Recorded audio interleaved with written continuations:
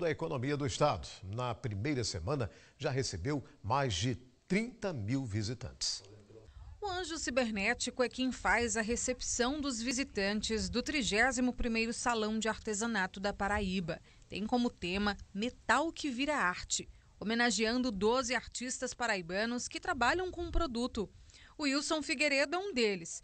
Todas essas obras da recepção foram feitas por ele, utilizando elementos reciclados, que resgatou da sucata. Wilson deu um novo sentido ao metal.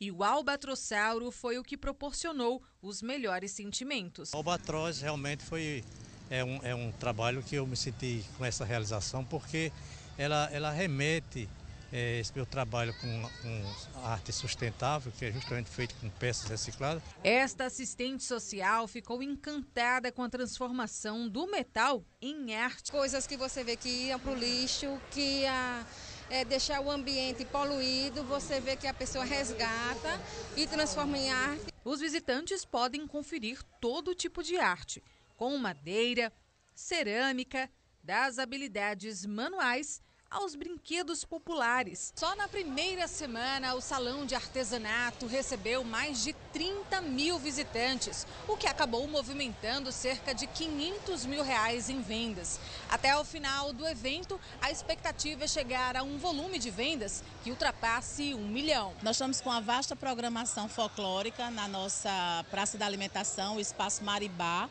É um espaço super acolhedor, com brincadeiras para criança, desde as três horas da tarde. É, à noite nós temos sempre uma atração musical. O espaço ficará aberto ao público até o dia 2 de fevereiro e a entrada é franca. Quem quiser ir conferir os trabalhos dos nossos artistas, o salão uh, de eventos fica aberto até fevereiro na Avenida Cabo Branco.